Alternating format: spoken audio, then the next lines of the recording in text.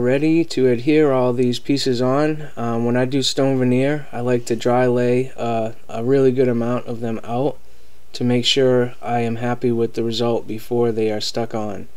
I know a lot of people that do veneer get two or three pieces done and ready and they stick them on instantly. I don't think that's the way to go. I think it's better to make sure that everything looks the way you want it to do, want it to be before you actually start sticking them on.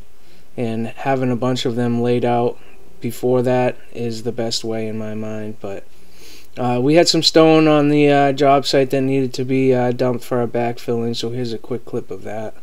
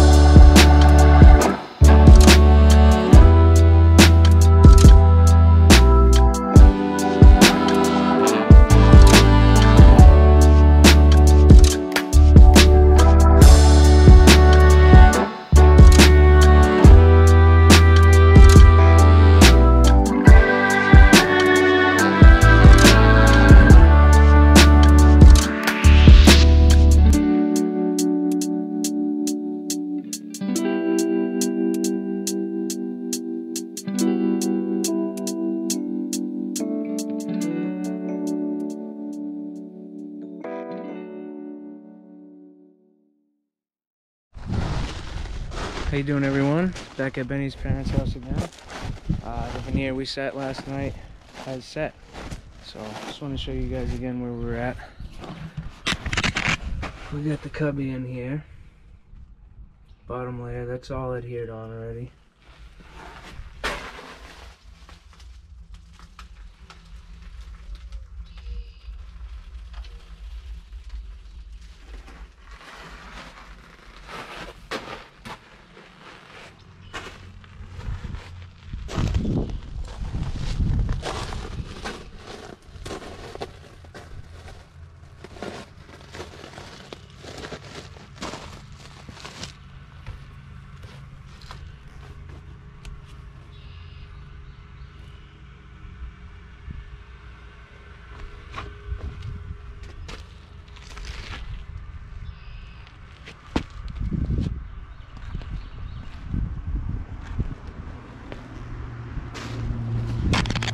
Alright, so the plan is to keep moving on veneer.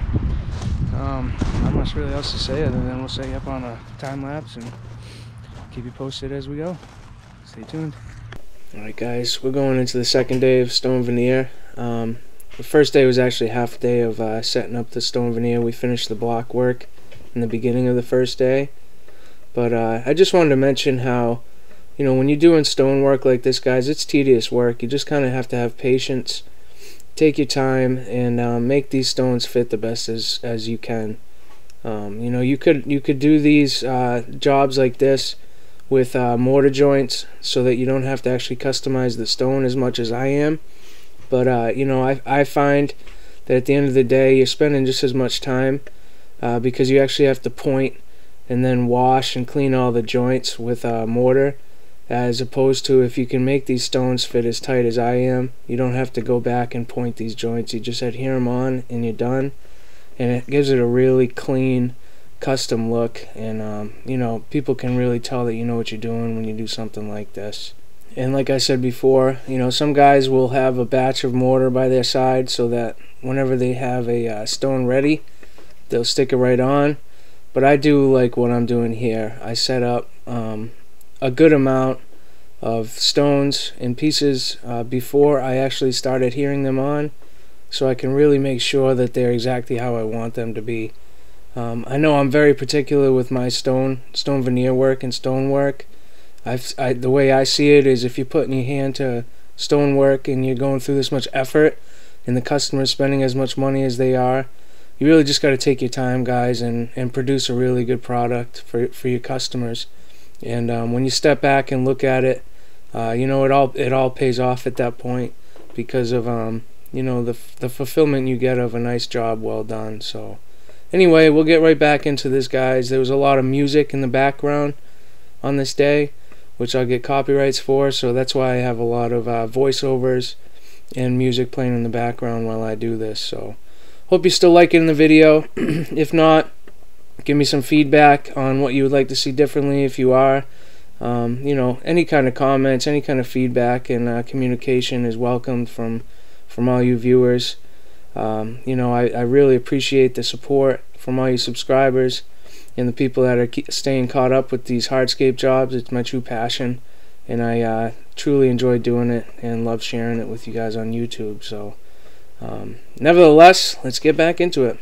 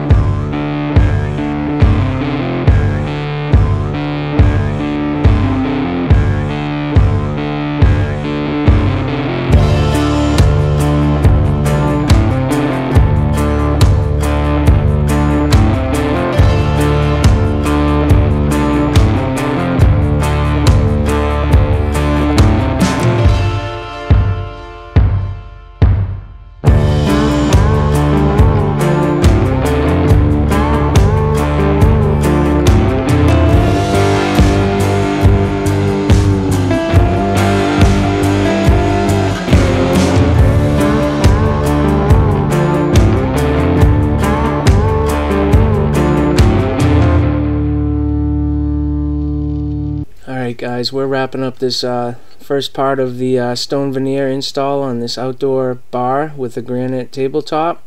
And um, the next video is going to show us wrapping up the stone veneer and uh, installing our custom granite um, mantle on top of the table.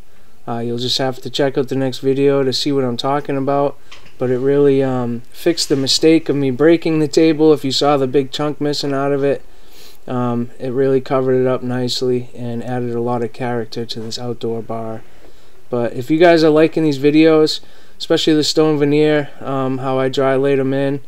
Um, like I said, give me some feedback in the comments. I really appreciate it, and um, I'm I'm looking forward to this YouTube journey. It's still about a month and a half right now into um, my YouTube channel being started, and I'm looking forward to um, communicating with all you guys and making videos that you truly enjoy. So until the next one, God bless.